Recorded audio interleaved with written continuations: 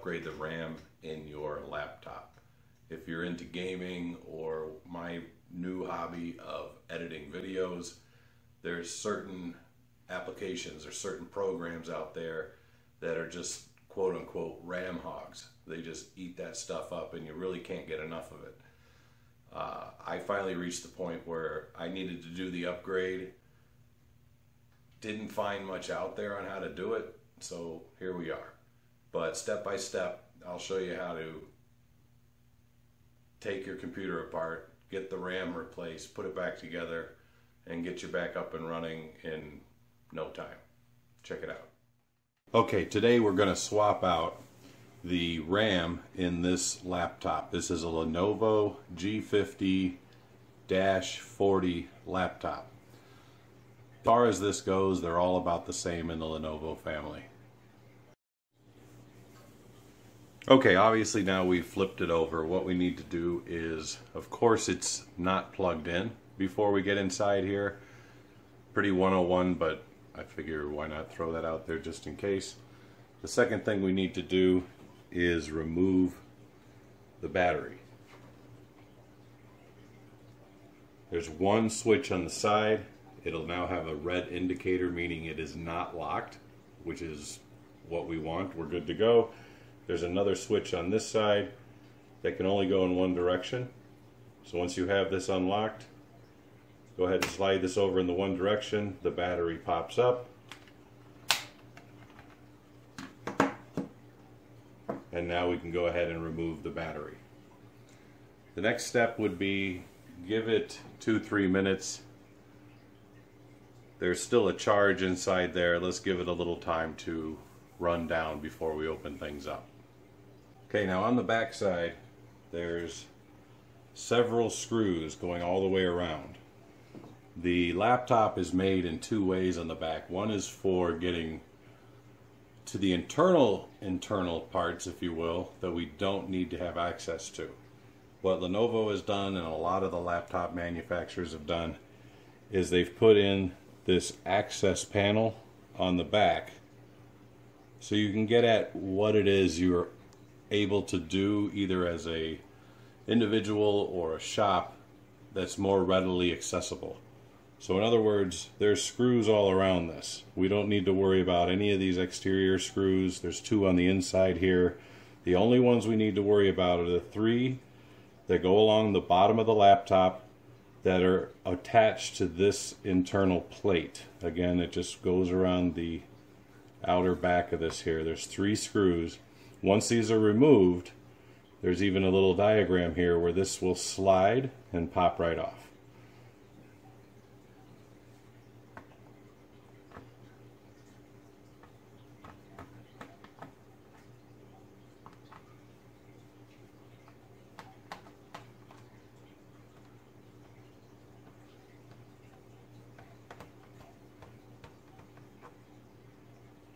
One screw cooperated, the other two didn't.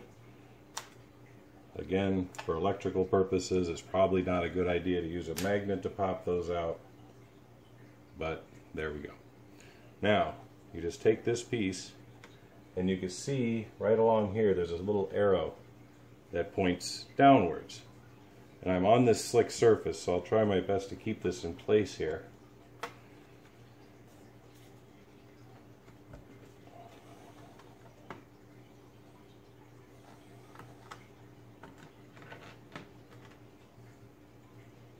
Very easy. All right, now that we have it opened up, when we want to replace the RAM, it comes with two chips of RAM. One has two gigabytes, one has four gigabytes.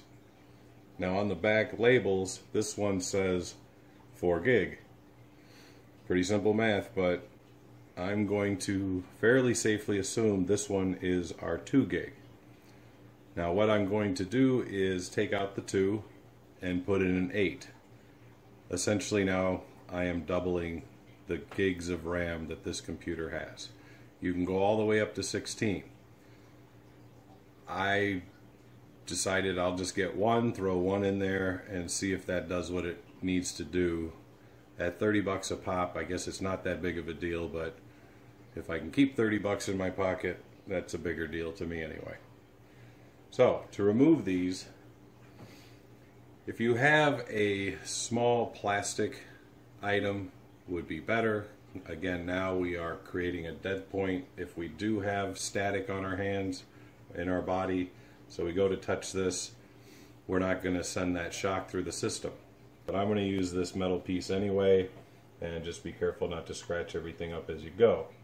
Now there's two clips on each side, it looks like.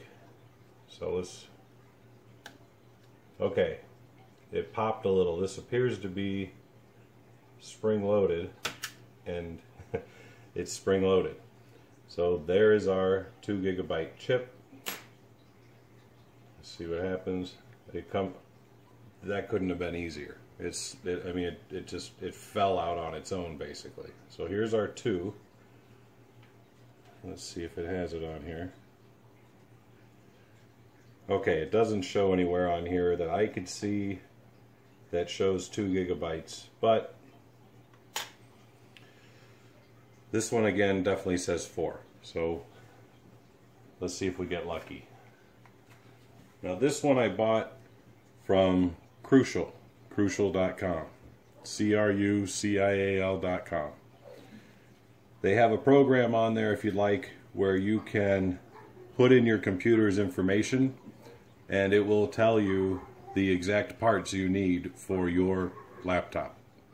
So you don't have to worry about am I buying the right part or not. This is the one they recommended and it's hard to see.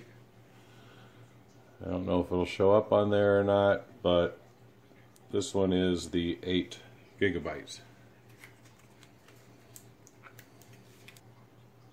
Okay, now I should probably also be wearing rubber gloves, but I don't have any. Now,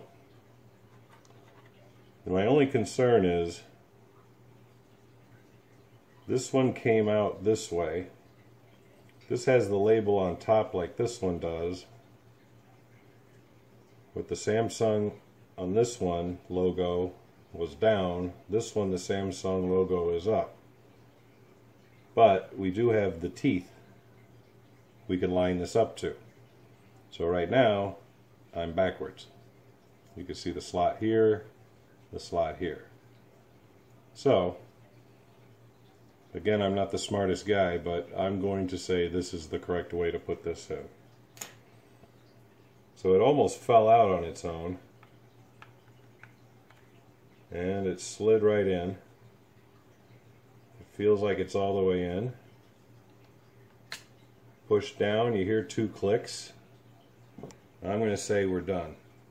Let's put this bad boy back together and see what happens.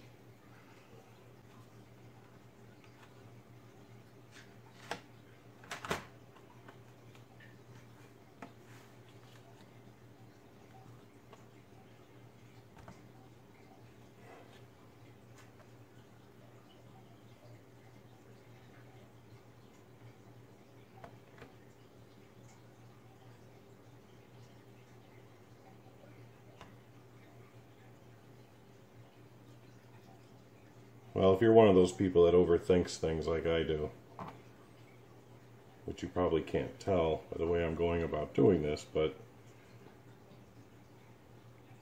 these screws, when you put them back in, this is a plastic case. So I would recommend once you get to the point you're feeling a little resistance, give her about a quarter turn. It's snug. I'm going to say that's good enough. All right, let's pop the battery back in.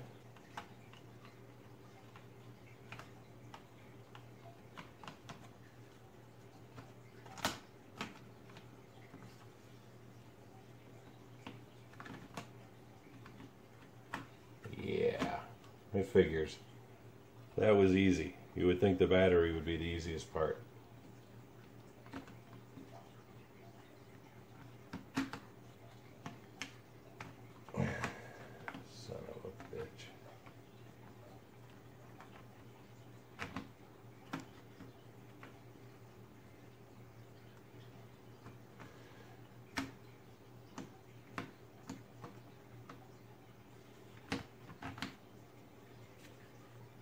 I should do a video on how to remove and install a battery.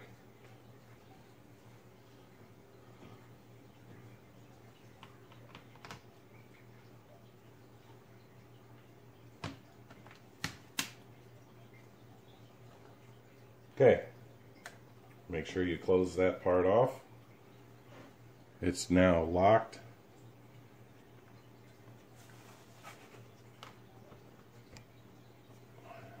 Flip her back over. And let's see what happens.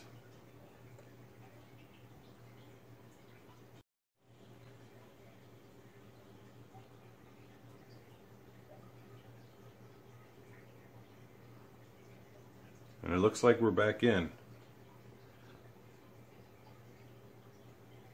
All right, we're in. Everything looks good. Now let's double check. First we'll let everything load. This might take a little longer. I don't know, but I would assume I swapped out RAM. Some of that might be utilized at startup. It is taking a little bit longer than usual, but everything is loading up fine. All right, now let's confirm everything worked out okay. Click on My Computer or This PC. Yours should say This PC. Go to Systems Properties. And we now have 12 gigabytes of RAM. I would say that was a success. Hopefully you learned something from this today. If I skipped over something or you're not sure about something, simply leave a question down below and I will get back to you as soon as possible. Thanks for watching.